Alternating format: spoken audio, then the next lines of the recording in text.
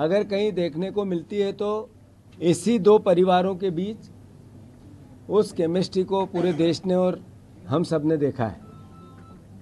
साथियों 80 में जब पहली बार कमलनाथ जी चुनाव लड़े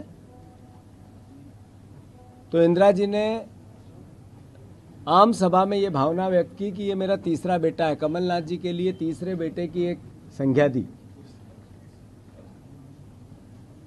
उससे आगे बढ़कर इस पैंतालीस साल की यात्रा में, राजनीतिक यात्रा में कमलनाथ जी की, पिछले सात साल से वो मध्य प्रदेश की कांग्रेस पार्टी के मुखिया के तौर पे हम सब कांग्रेस के कार्यकर्ताओं के साथ कंधे से कंधा मिलाकर, हर परिस्थिति में सुख दे, सुख में, अच्छे में और बुरे में, पूरी दृढ़ता से कांग्रेस के विचार को आत्मसात करके विपक्ष की भूमिका निभाते हुए निडरता से अपना कार्य करते रहे।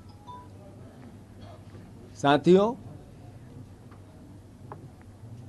मुझे ज्ञात है वो पल, वो समय, जब सिंधिया जी ने कांग्रेस पार्टी को, की सरकार गिराई थी, तब भी कांग्रेस का एक एक कार्यकर्ता कमलनाथ जी के विचार और उनके नेतृत्व के नीचे खड़ा था।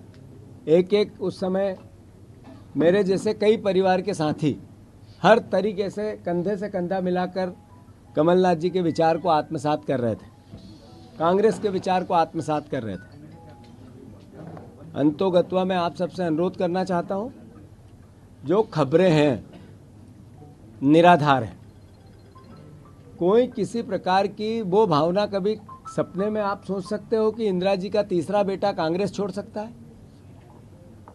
कभी सपने में भी ये विचार आ सकता है कि अभी दो महीने पहले जिनके नेतृत्व में हमने चुनाव लड़ाए कि, कांग्रेस का कार्यकर्ता अपनी जान लड़ाकर उनको मुख्यमंत्री बनाने के लिए अपना सब कुछ निछावर करता रहा। क्या उनको छोड़ने की बात कमलनाथ जी कर सकते हैं? कभी सपने में भी आप सोच सकते हैं कि जब सिंधिया जी जा रहे थे, सरकार गिरा रहे थे, तब हमारे जैसे लोग पुलिस के और उनके गुंडों के डंडे खा रहे थे कमलनाथ जी को मुख्यमंत्री बनाने के लिए। जगह जगह, वो हमें छोड़ के जा सकते हैं। कांग्रेस पार्टी को छोड़ के जा सकते हैं। मैं फिर से, जैसा कि अफवाहें हैं, राज्यसभा का चुनाव में अशोक सिंह जी का नाम कांग्रेस पार्टी में आदरणीय कमलनाथ जी ने प्रस्तावित किया था। और उसी के आधार पर हम सब विधायकों ने भी किया था। हमारे पूरे नेतृत्व ने एक साथ मिलकर किया था।